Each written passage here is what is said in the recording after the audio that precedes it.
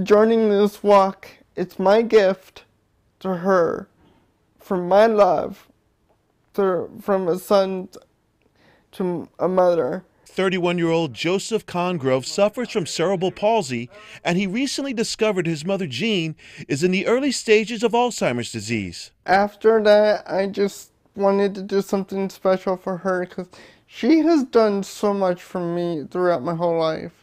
As a child, Joseph was fostered and adopted by Howard and Jean Congrove, and now that his mother is sick, he wants to make a difference just like she did in his life. She wanted me because she wanted to make sure I had a home instead of being somewhere else and not having family who loved me.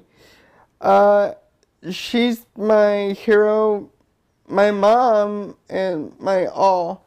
So for that, it's special to me. To show his love and appreciation, on Sunday, October 5th at 10 a.m. in Akron, Joseph and his healthcare aide, Adam, will take part in Walk to End Alzheimer's.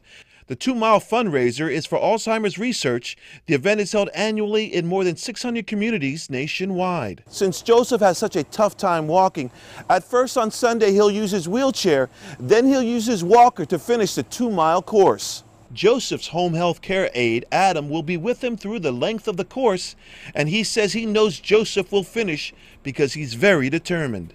In Cuyahoga Falls, Enrique Correa, Fox 8 News.